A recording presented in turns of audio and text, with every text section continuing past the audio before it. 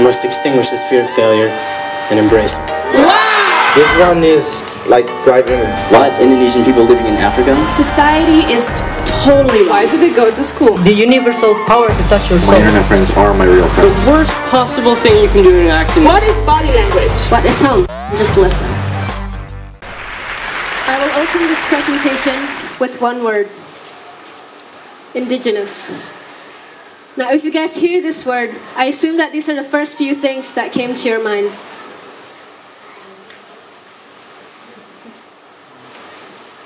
And why did I open this presentation with this one word? Well, it's because it has something to do with me, part of my identity. I was born to a family that is part of Bali's indigenous people.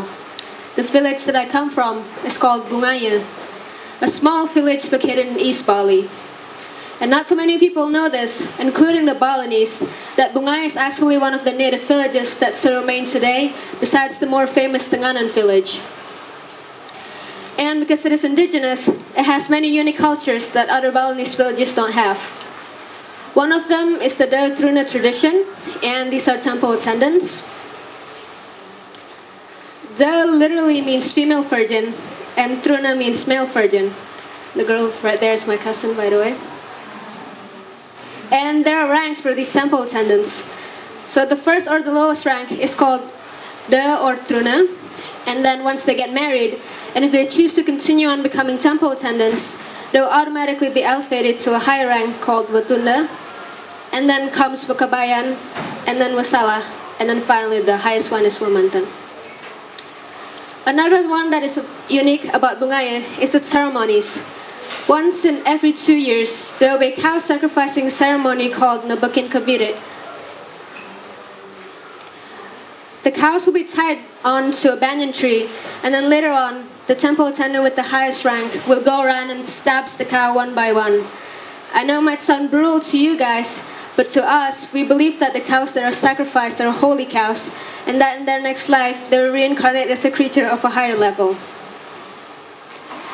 And if I write about my background on my biography, I'm pretty sure people will picture me looking like this, or my family looking like that. I'm not sure if the thought of me going to international school in Bali would ever cross their mind. I have been going to green school for five years now, along with Gika, Isami, and Dylan. These were the seniors of the first year, but now there's only four of us left. I remember being in the classroom on the first day of school.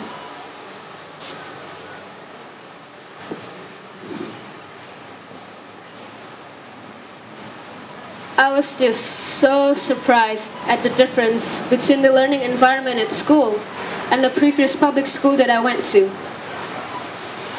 Everyone was Westerners and they were talking in English. There was even a guy with an afro. I interviewed some of the Green School students here about what they felt like when they first entered Green School. Gika said it was scary, nervous, but it made her nervous, but it was exciting at the same time. For Alicia, on her first day of school, she felt like an alien that just got to a planet that she had never been to before. So strange, everything was so different. Well, indeed, it was. It's my fifth and final year now at Green School. My life at school is a is multicultural world where many cultures meet and combine together, creating a unique mix. And it does take quite a while for me to understand this kind of world.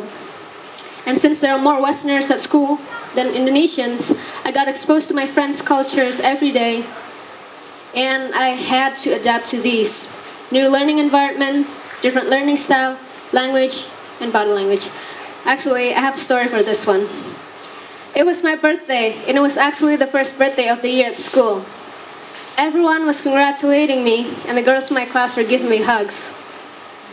It was the first time I received so many hugs, and back then, I wasn't used to being hugged because in my culture, it's not normal. And then, one of my classmates, a boy this time, wanted to give me a hug. And because I didn't know that it was a friendly thing, I refused. I feel bad for doing so. and another thing that I had to adapt to was the way people address other people. So in Indonesian culture, when we're addressing someone older than us, we have to use the term kakak, which means older. And I noticed that in the Western culture, there's no such thing. And back then, I would feel uncomfortable when someone younger than me called me straight by my name without using that term. The list goes on and on and on. Moving to a different culture is like moving to a different country where you have to adapt to basically everything. And there were so many things that I had to adapt to. And now, since five years have passed, the green school culture starts to seep into me. Now I feel totally comfortable being hugged, giving hugs, having someone younger than me call me straight by my name without using kaka. And it was the beginning of this school year when I met Chitra, a ninth grader. And when she found out that I was in grade 12, she automatically went like, oh, then I have to call you Kak Ira. And then I said straight away, nah, you don't have to call me like that. You're not that younger than me anyway. Well, back then, I would feel uncomfortable when someone younger than me addressed, addressed me straight by my name. But now, it doesn't really matter. Living in two different cultures isn't always fun. While I have multicultural world at school, at home, I live in a Balinese environment. I am more familiar with the Balinese culture because I have been living in it longer as well as living in two different worlds, give colors to my previous gray life. Sometimes I also feel like I'm not quite a part of either of them. It feels pretty much like this. At school, for example, when I'm trying to introduce a part of my Balinese culture, sometimes my friends don't quite understand what I'm trying to say. In the Balinese environment, it's been harder for me to introduce part of the green school culture to friends, family, neighbors who have no exposure to Western culture. To a small extent, living in two different worlds makes Gika feel less at home when things from school and at home are different. I agree with her. And this situation has inspired me to do this Greenstone project, and it raised the question, what is home? I looked up definitions of home on the internet and here's one of them. A place where one lives, a residence, a dwelling place together with the family or social unit that occupies it, a household, the native habitat as of a plant or animal. I also interviewed some of my friends about their own definitions of home. And to home for her is the feeling of being comfortable and safe, while at the same time she feels like she could prosper and grow. Certain people and places give her this feeling, so it's rare for her to adapt quickly to new places, even if her behavior or routines will feel uncomfortable in an unfamiliar place. And my own definition of home is an environment or a place that offers not only security, but also a sense of connection and belonging. And when someone asks me where I'm from, I would say straight away Bali or Karangasem specifically. And for some of you guys here, it might be harder for you guys to answer that question because you guys might have been living in many different places away from your home, home country. And this feeling of living in two different cultures at the same time is quite similar. Earlier I said I had to struggle with the things resulting from two words colliding together. And when there's black, there's also white. Living in this alien world is giving me an opportunity to look at things from two different perspectives. Gives me time when I'm about to make a decision. decision. Another one is being adaptable to changes because every day I basically have to switch between the Balinese culture and the green school culture like a snap of a finger.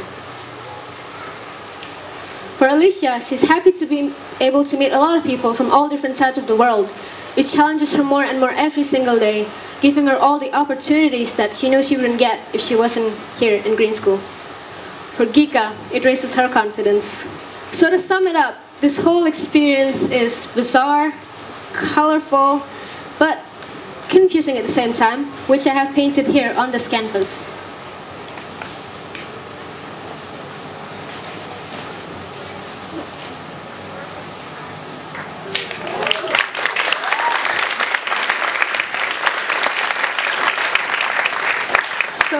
Side over here, as you can see, is supposed to describe the colorful side of living in two different worlds. This one represents the confusing side. And this one is supposed to represent the bizarre side. And I, these three eyes, I feel like everyone's looking at me because just because I'm different.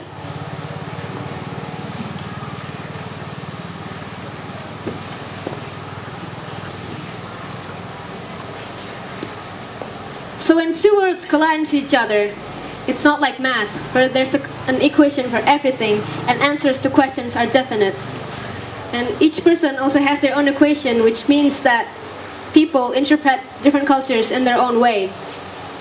Sometimes it's also like nature, where many unexpected things often occur. But to me, the most important thing right now is a sense of belonging. And, well, to me now, the Green School's environment feels home to me. I feel a sense of connection and belonging that is especially hard to break in such a friendly school environment. But since it can be as difficult as getting lost in a jungle, having a sort of a compass will be very helpful and I hope in the future there will be like a compass for each of the Indonesian students that are coming here so that they don't get lost and confused. But otherwise, I'm glad to be living in these two worlds colliding together. Thank you.